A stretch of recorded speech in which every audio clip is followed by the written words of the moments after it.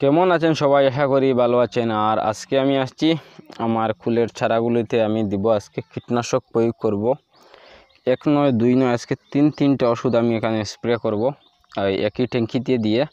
আর এগুলি আপনাদেরকে আজকে আমি দেখাবো। একদম লাইভ ওষুধগুলি ট্যাঙ্কিতে দিয়ে এবং ডাইরেক্টলি গাছের মধ্যে দিয়ে।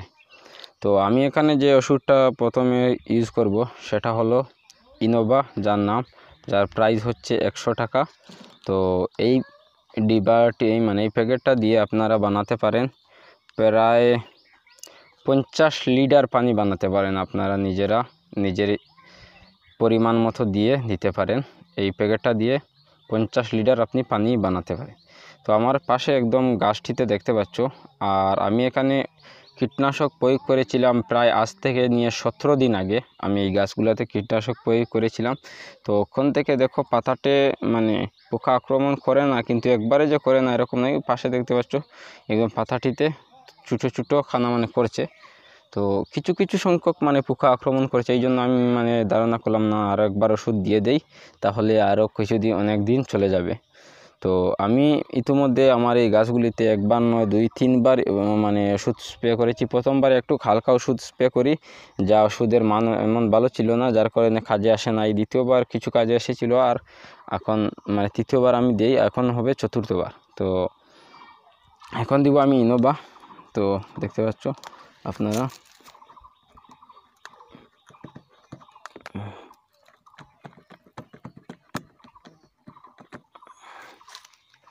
আর আপনারা আপনারা নিজের মতো দেবেন।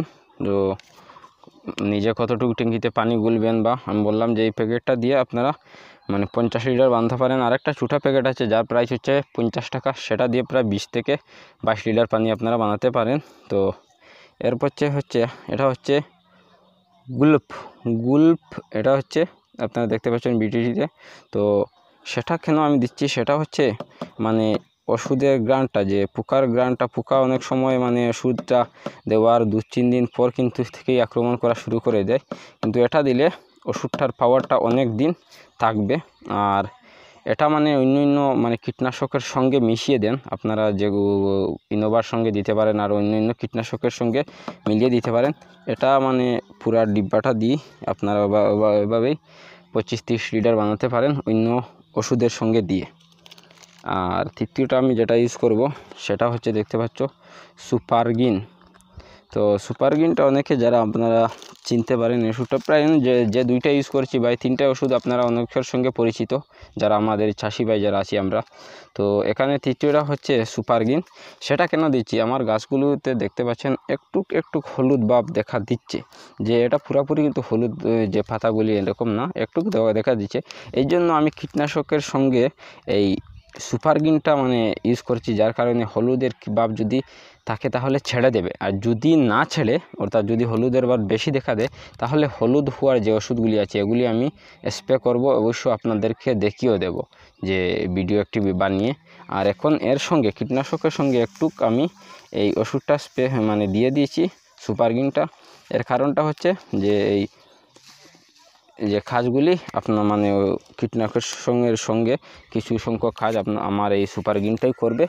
আর একসঙ্গে মানে কাজটা হয়ে গেল। আর যদি পরবর্তীকালে কাজটা না হয়, তাহলে আমি অন্য একটা ভিডিও বানাবো এই হলুদুয়া নিয়ে। আর এই সুপার গিনটা দিয়ে আপনারা এভাবে এই পনেরো থেকে বিশ লিটার পানি বানাতে পারেন। আর অন্য ওষুধের সঙ্গে আপনারা স্প্রে করেও দিতে পারেন।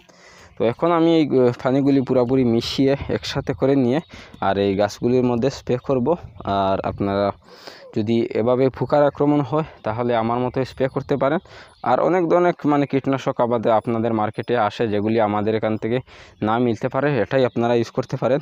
আর আমি এখানে এই সুপারগিনটা একটু ইউজ করলাম যে ফুলা বা এই হলুদ হওয়ার বিষয় নিয়ে।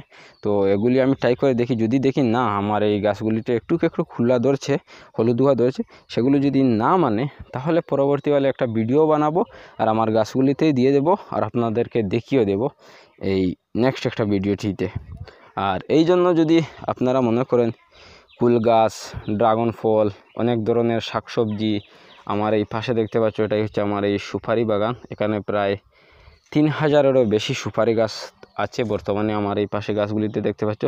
এই বছর থেকে সুপারি, এর আগের বছর থেকে আমার এখানে সুপারি কিন্তু ধরছে আর এই বছরে আমার এখানে সুপারি ধরবে। তো সুপারি গাছ নিয়ে অনেকটা ভিডিও আসবে, সুপারি কীভাবে লাগাবেন, কোন জাতের চারা লাগাবেন মানে সুপারি বিষয় নিয়ে নেক্সটে অনেকটা ভিডিও আসবে, কারণ সুপারি আমরা ইতিমধ্যেই চারা রোপণ করা শুরু করে দিব প্রায় এই যে ঈদ বা রোজার পরবর্তী সময় থেকেই। আর কলা রোপণ ইতিমধ্যে রমজান মাস মানে যাওয়ার আগ থেকে আমরা শুরু করে দিব।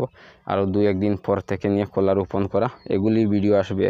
তো অনেক ধরনের মানে কৃষিভিত্তিক ভিডিও আমার এই চ্যানেলে আমি আউট, আপলোড করব।